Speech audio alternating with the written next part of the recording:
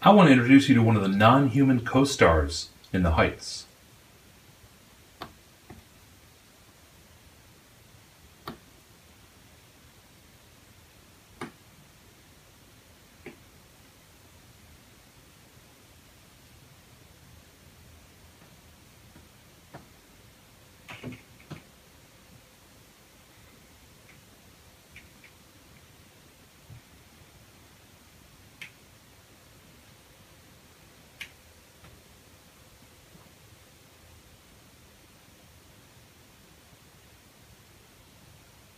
Want to see him in action? Get tickets now.